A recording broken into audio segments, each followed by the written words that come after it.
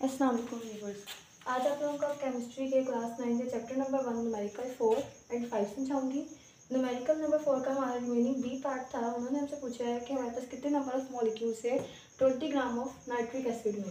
आपके पास अगर हम यहाँ देखा जाए तो मास ऑफ़ सब्सटेंस उन्होंने हमें डाटा में ही दिया हुआ है ट्वेंटी ग्राम और हमने इसका मोलर मास फाइंड आउट करना है। मोलर मास फाइंड आउट करने के लिए सबसे पहले हमें पता होना चाहिए कि हमारे पास एटॉमिक मासेस कितने हैं एलिमेंट्स की। हाइड्रोजन का एटॉमिक मास वन होता है। नाइट्रोजन का फोर्टीन, ऑक्सीजन का सिक्सटीन। और हमारे पास एटॉमिक नंबर यहाँ पे इसका थ्री है। तो हम ऑक्सीजन को पहले एटॉमिक नंबर के साथ उसके मल्टीप्लाई कर देंगे। फिर जितना भी इसका आंसर आएगा, उसे बाकी सारे डेटा में समअप कर देंगे। One plus fourteen plus sixteen multiply by three equal to sixty three gram per mole number of moles का हमने पहले फॉर्मूला पुट करना है, जो कि होता है mass of substance over molar mass of substance mass of substance आपके पास है ट्वेंटी ग्राम मोलर मास आपके पास है sixty three gram per mole ग्राम ग्राम से कट जाएगा। यूनिट्स को आपने सॉल्व करना है। यूनिट्स को सॉल्व करने के बाद जब आप कैलकुलेटर में ये वाली पुट करेंगे, आपके पास आंसर आएगा three point one seven five moles ये आपके पास से नंबर ऑफ़ मोल्स अब हमने number of moles find out करने के बाद यहाँ पर फॉर्मूला पुट करना है, क्योंकि बेसिकली हमने क्वेश्चन में जो हमें पूछा गया, वो है पूछा गया नंबर ऑफ़ मॉलिक्यूल्स कितने हैं नाइट्रिक एसिड के. तो number of molecules find out करने का फॉर्मूला हमारे पास होता है number of moles multiply by Avogadro's number हमें पता है यहाँ पे साइड पर लिख भी देती हूँ कि एवोगैड्रो नंबर बेसिकली हमारे पास की वैल्यू होती है six point zero two multiply by ten to raise power twenty three ये हमारे पास है एवोगैड्रोस नंबर तो हमारे पास number of moles three point one seven five आए अगर मैं इस पॉइंट को इधर उठा के ले जाती हूँ तो हमारे पास साइंटिफिक नोटेशन के हिसाब से zero point three one seven five multiply by six point zero two multiply by ten to raise power twenty three ये वाली वैल्यू आपके पास एवोगैड्रोस नंबर की वैल्यू है। इन दोनों को जब आप सॉल्व करेंगे पावर आपके पास ten to raise power twenty three ही रहेगी और इन दोनों को सॉल्व करने के बाद हमारे पास जो आंसर आएगा वो आएगा one point ninety two multiply by ten to raise power twenty three molecules sorry one point ninety one multiply ten to raise power twenty three molecules इसका मतलब है कि हमारे पास number of molecules nitric acid के अंदर इतने मौजूद हैं। One point ninety one multiply ten to power twenty three molecules अब आ जाते हैं हम अपने नेक्स्ट पार्ट पे, जो कि है सी पार्ट सी पार्ट में उन्होंने हमें दिया हुआ है। आपको फाइंड आउट करना है thirty gram of glucose thirty gram of glucose find out करने के लिए पहले हम यहाँ पे, हमारे पास जो मास ऑफ़ सब्सटेंस है, वो अवेलेबल है थर्टी ग्राम मैं इसी डाटा में थोड़ी सी चेंजेस कर रही हूँ।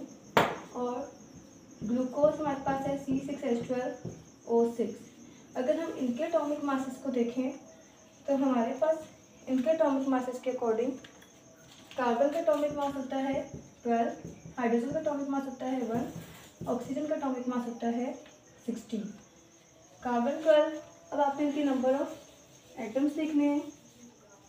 नंबर ऑफ़ एटम्स देखेंगे। कार्बन का हमारे पास एटॉमिक मास क्या है? ट्वेल्व नंबर ऑफ़ एटम्स कितने मौजूद हैं? Six twelve multiply by six हमारे पास हाइड्रोजन का एटॉमिक मास क्या है? One number of atoms twelve oxygen का एटॉमिक मास क्या है?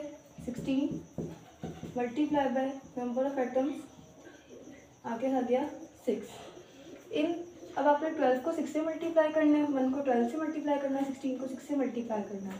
इन सबको समअप करना है तो आपके पास इसकी वैल्यू बनती है वन एटी ग्राम पर मोल अच्छा एक और बात आप लोगों को यहाँ पे बताती चलूँ कि अगर आप ग्राम पर मोल इस तरह लिखते हैं तो फिर इसका मतलब है कि जो ये वाली आपके पास स्लैश है, हम स्लैश को बेसिकली कहते हैं डिवीज़न का सिंबल ये स्लैश आपके पास माइनस वन में आ जाएगी। लेकिन अगर आप माइनस वन नहीं लिखते तो फिर आप इसको इस फॉर्म में लिख रहे हैं। नेक्स्ट हमारे पास आ जाता है कि हम हमने इसमें number of moles find out करने हैं। Number of moles find out करने के लिए फॉर्मूला है मास ऑफ़ सब्सटेंस और मोलर मास ऑफ़ सब्सटेंस जो कि हमने पहले भी पुट किया था। यहाँ पर डेटा में चेंजेस आ जाएँगी। मास ऑफ़ सब्सटेंस हमें थर्टी ग्राम दिया था। मोलर मास हमने one eighty gram find out किया है। और भी सात तरीके से अगर आपने इनके मोल्स निकालने हैं तो हमने यहाँ पे सिम्बल्स को तो सॉरी यूनिट्स को तो हमने वैसे ही कैंसिल कर दिया। ज़ीरो ज़ीरो से कैंसिल हो जाएगा थ्री को आप एटीन पर डिवाइड करेंगे तो आपके पास आंसर आ जाएगा zero point one six six seven moles अब हमने यहाँ पे number of moles of glucose find out करने हैं। C six H twelve O six आपके पास जितने भी नंबर ऑफ़ मोल्स दिए गए हैं यहाँ पर हमारे पास दिए गए हैं zero point one six six seven moles हमने यहाँ पर मॉलिक्यूल्स भी ग्लूकोज के फाइंड आउट करने थे। तो हम यहाँ पे स्टेटमेंट में नंबर ऑफ़ मॉलिक्यूल्स ग्लूकोज हमारे फॉर्मूला यही चीज़ आ जाएगी। डाटा हमारे पास चेंज हो जाएगा।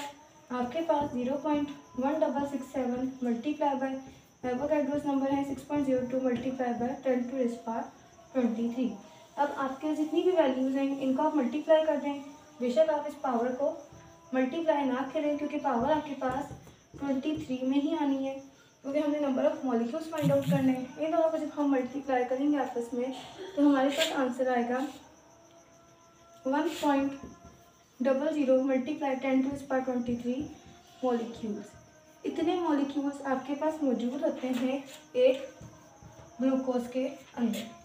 ये आप लोग का क्वेश्चन नंबर फोर का नंबरिकल कंप्लीट हो गया।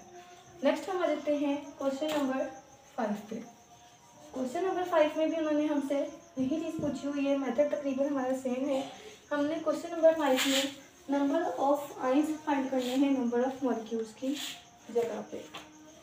नंबर ऑफ़ आइंस फाइंड करने के लिए भी सेम हमारा यही मेथड होगा। हम यहाँ पर पहले इस डेटा को पूरा क्लियर कर लेते हैं।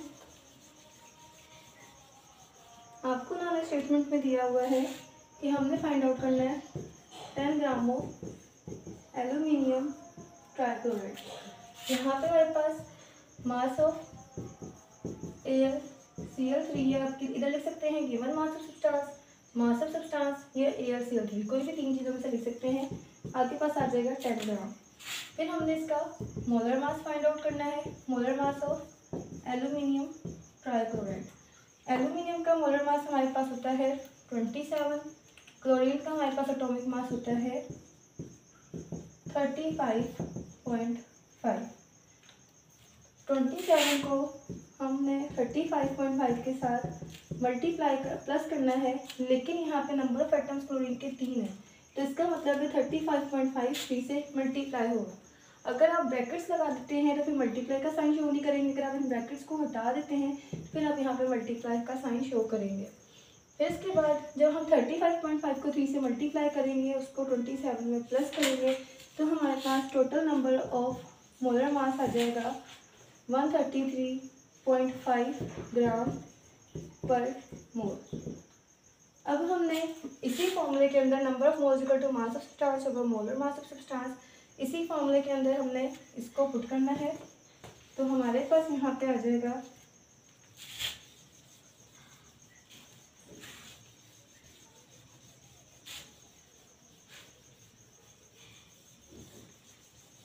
जब आप नंबर ऑफ़ मोल्स के अंदर फॉर्मूला पुट करेंगे mass of substance over molar mass of substance तो हमारे पास यहाँ पे मास ऑफ़ सब्सटेंस क्या गिवन है ten gram molar mass of substance हमारे पास क्या दिया गया one thirty three point five gram per mole.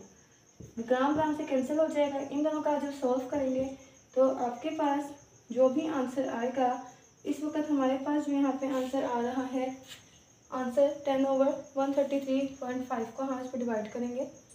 तो हमारे पास बेसिकली इसमें आंसर आना चाहिए। Zero point something